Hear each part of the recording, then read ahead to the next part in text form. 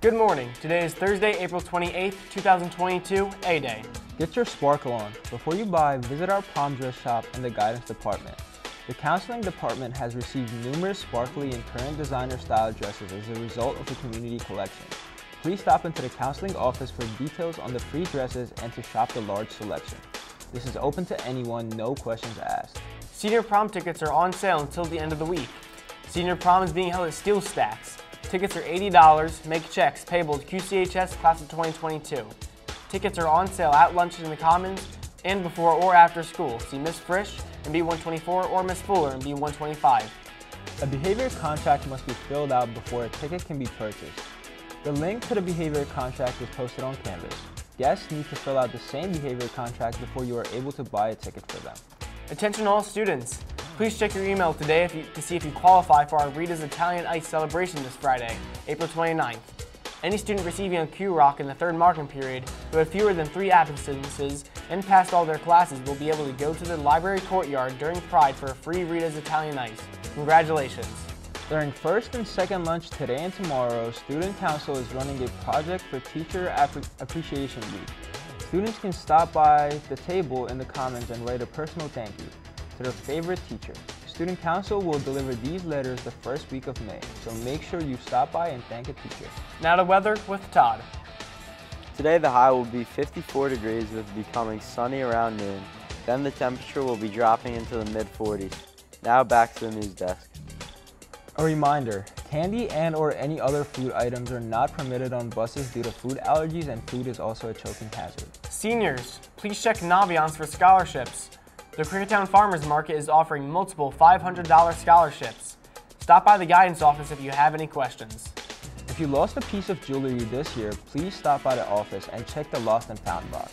Anything not claimed will be donated. Thank you. If interested in gaining insight into the history of the importance of the Day of Silence, please watch the GSA Day, Day of Silence video linked in Canvas. Attention seniors, please use the link that is found in the class Canvas page to pick your size for your senior shirt. There is no cost and the committee is just needs your shirt size. If you don't choose your size, then one will be chosen for you. There are no exchanges. Now to sports with Nick. Congrats to our very own Alec Cacavo, who ran his first half marathon last weekend with a great time of just about two hours. Boys tennis team won their match yesterday against Palisades with a final score of 6 to 1. They have an away match today at 3.30. The girls lacrosse team has a home game tonight at 6. Show out for their senior night. The softball team has an away game against Lower Moreland. The baseball team has a home game at 3.45. The boys volleyball team has an away match at 6. Now back to the news desk. Attention seniors, Friday, April 29th, we are celebrating Commitment Day. Wear spirit wear from your college of your choice. If you do not have spirit wear, you can dress in your school colors or get creative. Let's celebrate your future. Seniors, we will be accepting applications for seniors to give speeches at graduation. We can have up to four seniors speak and they can each speak for three minutes. If you'd like to submit your speech for consideration by the advisors and class council, please email it to bfuller at qcsd.org or locaro at qcsd.org by Sunday, May 1st.